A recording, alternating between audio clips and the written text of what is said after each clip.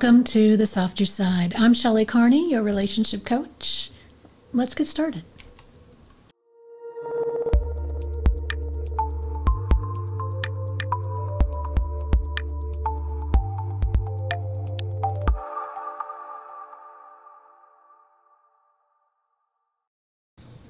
Let's look into some common beliefs that people have. Life happens to me.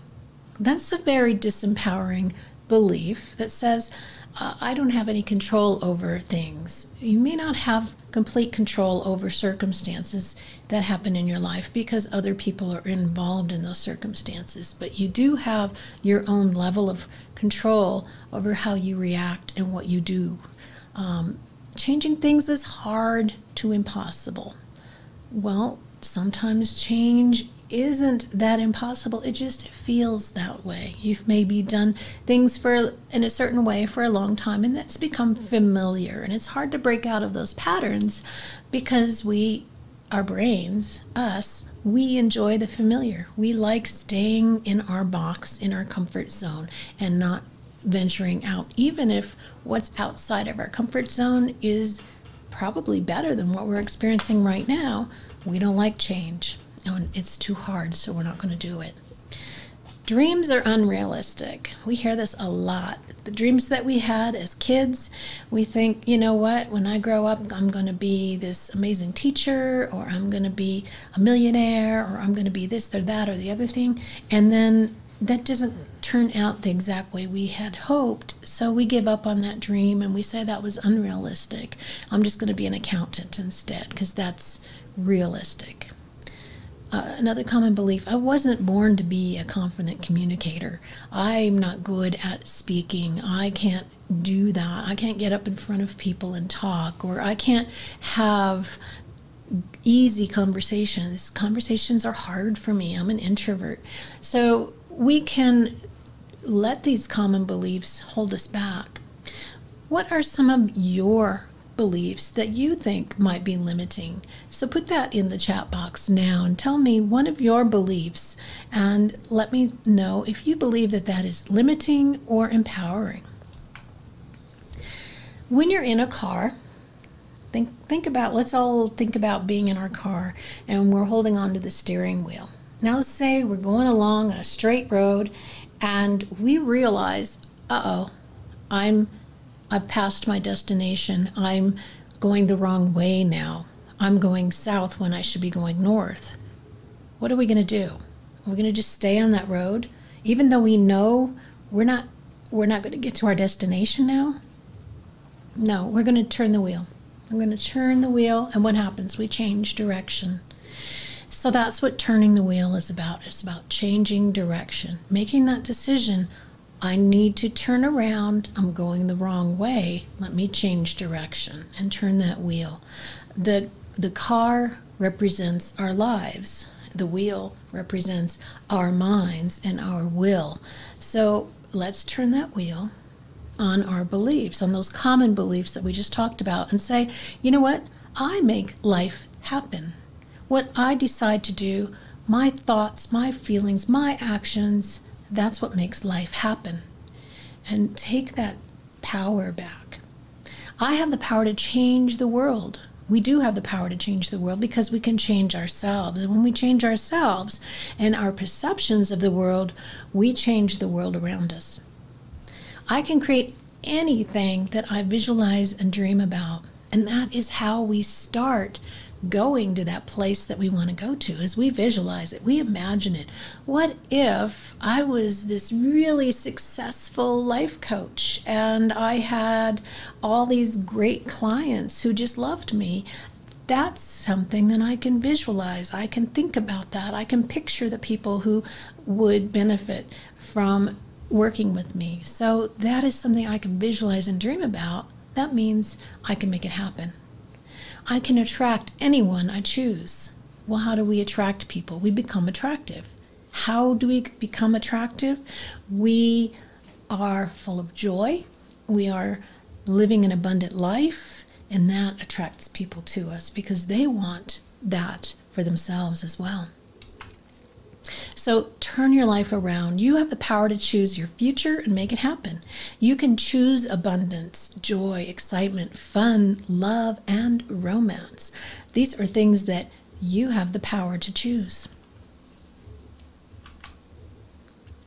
Here is the secret. I promised you the top three ways to upgrade your life. Here it comes. Okay, so what do you need to succeed, right? There's the catch. What you need to do to succeed is the desire to learn and to grow.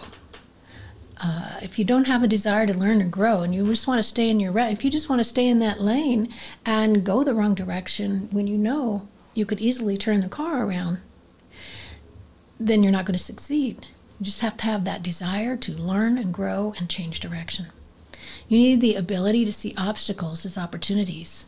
That means when you are going along towards your goal and something gets in your way you say oh can do I need to stop right here and not go any further? Is that the wrong goal for me? What's going on?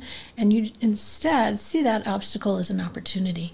Say I want to build a big business and I want to make a lot of money, but I can't I can't get I can't get the vis, the the visibility. I can't get the people to come to me. I can look at that obstacle as a roadblock and oh there's nothing I can do about it, or I can look at it as an opportunity to be more creative, to uh, to be innovative and to think outside the box. These are opportunities. Um, you also need to succeed a positive mindset. If you're constantly being negative about everything and saying no to everything, then you're not going to have all the opportunities open up to you that you would if you had a positive mindset. You need the drive and the courage to start. Again, turning the wheel, making that change, but first deciding that you need to turn that wheel. And then you need a support system. We all need support to help us lift us up and keep us going when things get tough. So you get what you give, right? Whatever you're putting into your life, whatever work you're doing on it, is what you're going to get back. If you sit on the couch and watch Netflix all day, what do you get back? Well, you get, you know, maybe rest and relaxation, but you're not going to be moving forward in your life. Um, so choose courage over discomfort. I have the courage to step outside my comfort zone, to choose that discomfort of speaking to new people that I don't know, uh, putting myself out there where people may or may not like me. Um, I choose courage. I choose to make things happen and and whatever the, the consequences and the circumstances that follow that, I'm willing to put up with that discomfort. You get what you give when you send out love energy to people. You get love energy back. When you raise the level of uh, positive com- communication with somebody, they will go up there with you and, and enjoy that love energy with you when you get what you give, you take responsibility for your own actions, then the people around you see that level of integrity and they will match that level of integrity as well. They'll say, Well, if you're going to take responsibility for your actions, then I need to do the same thing. Uh, you get what you give when you harmonize your life systems. That means you have a lot of give and take in order to achieve balance. So Today, you may want to focus on the physical and getting uh, those things lined up. I want to eat nutritious meals. I want to work out. I want to get my physical in line. And then tomorrow, I'm going to work on my spiritual, and the next day, mental, and next day, emotional, and harmonize those life systems because they all intertwine. They're interactive. And when one works well, then the others will work better and daily habits of success. So when you put in the time and the effort every day to those small little changes and habits, then that builds up over time and it gives you back those goals that you wanted to achieve. So, we have the power to succeed. Here are the three things you can do to upgrade your life. And this one, self assessment, two, focus on your desires, and three, make a bold plan. Let's go over those. So, in self assessment, you want to look at your life and ask yourself some questions. What problems am I facing right now? Um, well, I I have a full busy week and I'm feeling really stressed. Okay, that could be a problem. Um, what works well in my life? Well, I'm having a, a great week because I have so many exciting things to do and so much to look forward to. How do I feel when I wake up each day? I feel like two ways, right? I feel a little overwhelmed and at the same time excited to get to work. So I'm balancing that out. And if I had a magic wand, what would I change? And I like to bring up the magic wand because when I say, here, here's the magic wand, you can do anything you want, it takes away all the excuses. It takes away all of that self doubt. And you can say, oh, well, I have a magic wand. Fine. Then I want this, this, this, and this. Awesome. And now you have just cleared all the obstacles out of your visualization. Two, focus on your desires. In a perfect world, here's that magic wand going to work. In a perfect world, I would have, hmm, I'd have a career that brought me a lot of money and gave me a lot of satisfaction and helped a lot of people.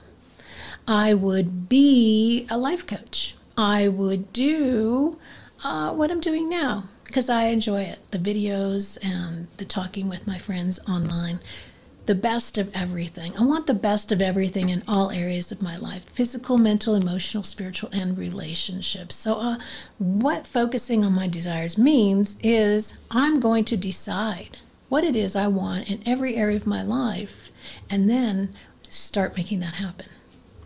And number three, make a bold plan. Let's make a plan to get those things that we want by creating goals breaking them down into steps, beginning new habits, scheduling them into my calendar, and then committing to doing those things. If I need support, I'll go out and get some support. I'll ask my family and friends, or I can ask a coach to help me if it's something that I don't know how to do. Um, and I'll be accountable. I'm going to tell my friends and family, look what I'm going to do. And would you support me in this and keep me accountable and keep asking how I'm doing. Check in with me. That'll keep me accountable. Let's talk a little bit about the law of attraction. The, again, the best way to attract others is to live a life of joy and abundance because everybody wants to be around somebody who is joyful and loving and generous and uh, honest and open and giving with their time and talents. Who doesn't want to be around somebody like that? And when we're trying to live in the law of attraction, everything is a gift. And that means we have an upset and it's made us 15, 20 minutes late. How can we see this as a gift?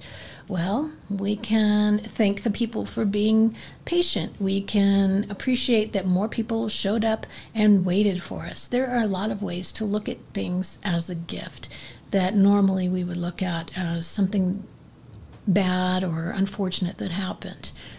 Um, be the change that you want to see in the world. This is this has been going around for a long time, so it's becomes like an adage or just something that people say. But it really has a lot of meaning to it. If you want your world to change, then you need to change yourself first and be the change that you want to see. If you want everybody around you to be happier, more relaxed, more joyful, You've got to do that for yourself first.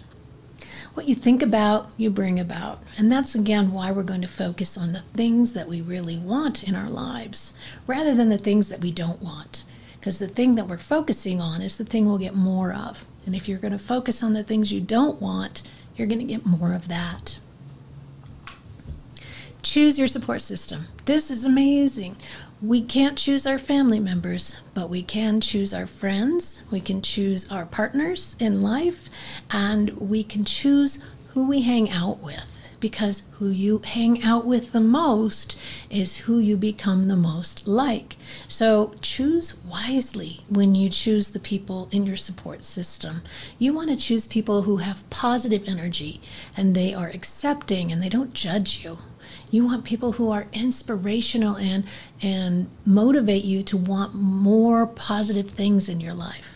You want people in your life and in your support system who are ready to listen to you when you have something that you need to express. And you need people in your support system who are going to provide helpful feedback and encouragement. Um, that's what I'm asking of you today is to give me your helpful feedback. What you enjoyed about this talk, what encouragement you might give about, you know, I like this, I'd see, I'd like to see more of that, and uh, just in an encouraging and positive way.